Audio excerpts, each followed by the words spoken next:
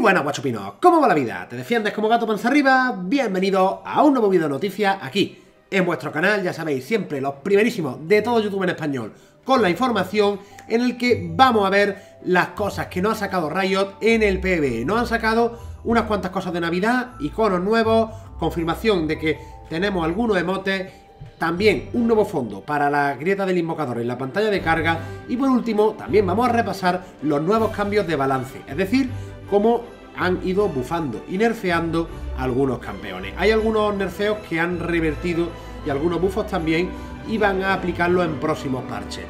Hay muchas cosas de las que hablar, vamos poquito a poco y vamos a comenzar por el naviduseo, las cosas navideñas, alegría y felicidad para la fiesta y la familia. Para empezar tenemos estos emotes que bueno, ya los visteis en el vídeo anterior en el que también vimos el login de Navidad y un montonazo de cosas que vimos que, oye, tienen pinta de ser emotes, efectivamente, está confirmado. Tenemos el de las campanitas que suena ese típico sonido de campanita de trineo chin chin chin cuando te lo pones.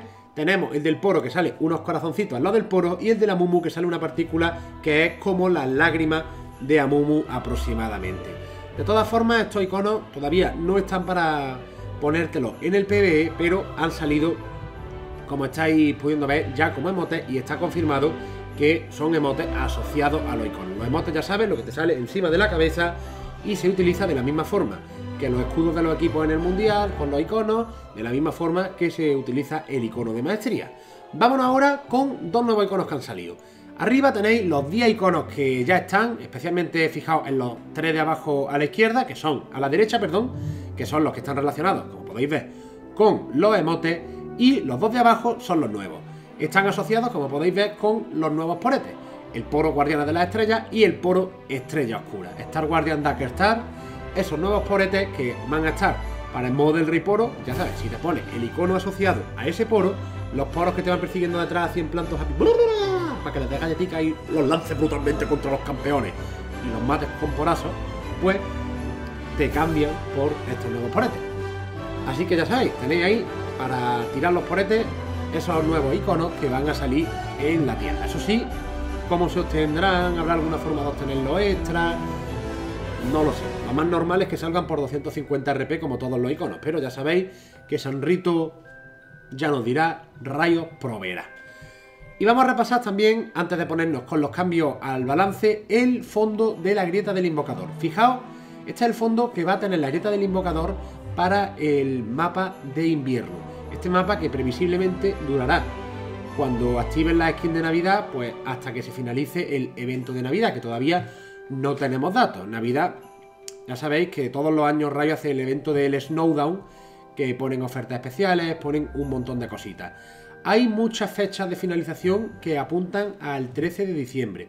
El 13 de diciembre finalizan las ofertas del Elementalista, finalizan otras ofertas que tiene Riot y además el día 11 finaliza el All Star. Así que, por así decirlo, hay mucho hype que se acaba ahí.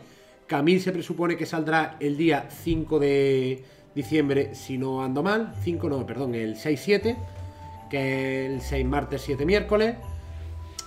Claro, ahí el hype. Rayos tiene que crear algo para que haya más y más y más y más hype. Como ya se va a ver del hype de Camille porque ya ha salido, el de All Star, pues ahí es cuando deberían meter esto de Navidad, ¿no? Para el día 12-13 de diciembre.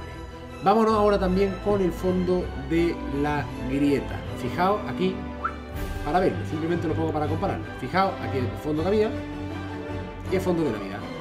Fondo que había el fondo de Navidad. El fondo de Navidad, como podéis ver, está también, aparte de más detallado, tiene prácticamente el otro, pero con esa capa invernal, los árboles están todos decorados como árboles de Navidad, los pinos, en definitiva, bastante bonito.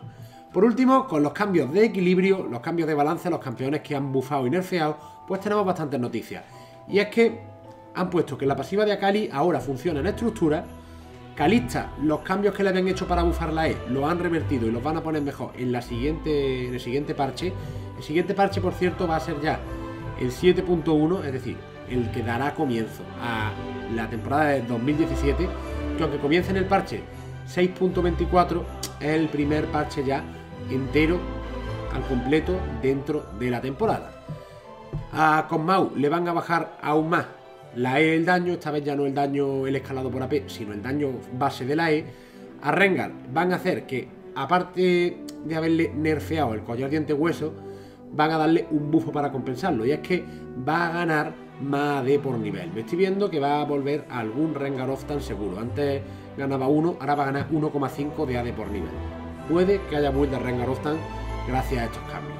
Sindra, el cambio que le habían hecho para bajarle el daño de la ulti lo han revertido porque Sindra se ha jugado un poquillo menos en este parche. En definitiva, ya os explicaré más en detalle en un vídeo próximo más contexto sobre estos cambios, es decir, qué afecta a todos estos cambios, por qué lo han hecho, cuál es el motivo que hay para los Rioters de haber introducido todo este tipo de cambios. Y por último, pues tenemos que Varus lo que han hecho es que han aclarado que la pasiva también funciona al matar monstruos. Eso es todo por mi parte. Espero que el vídeo os haya resultado interesante. Comentadme también si os gusta las noticias más en este formato, dejando aquí la pantalla más en grande a la izquierda, o si os gusta más en plan un formato más horizontal, como solía solemos hacerlo desde siempre. Muchas gracias por estar ahí al otro de la pantalla viendo el vídeo. Si os ha gustado, ya sabéis, vuestro like, suscribíos y compartir el canal con vuestros colegas.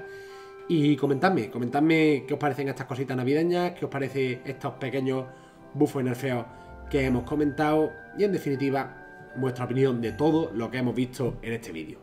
Gracias por estar, como digo, y nos vemos en el siguiente. ¡Hasta luego!